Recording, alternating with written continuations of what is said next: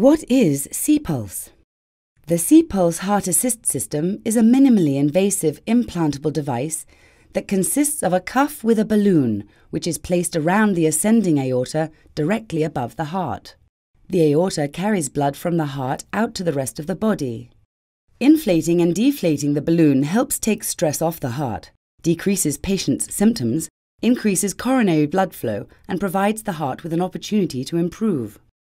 The system is comprised of the following the cuff with airline to fill the balloon, two wires connected to the outside of the heart with sensors that are used to determine how fast the balloon should inflate and deflate based upon the patient's heart rate, an external driver containing a pump and battery, a cable connects the internal components to the external driver. This cable exits out from the patient's abdominal area. How it works.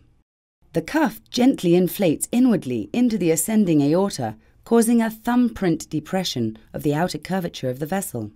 The C-Pulse Heart Assist system inflates and deflates counter to the natural heartbeat, referred to as counter pulsation. What this means is the balloon deflates when the heart is ejecting blood and inflates when the heart is filling with blood. C-Pulse uses this proven technology to help the heart on an everyday basis. A major difference is that it is implantable, mobile, can be disconnected, and does not come into contact with blood. The driver is worn externally and is portable.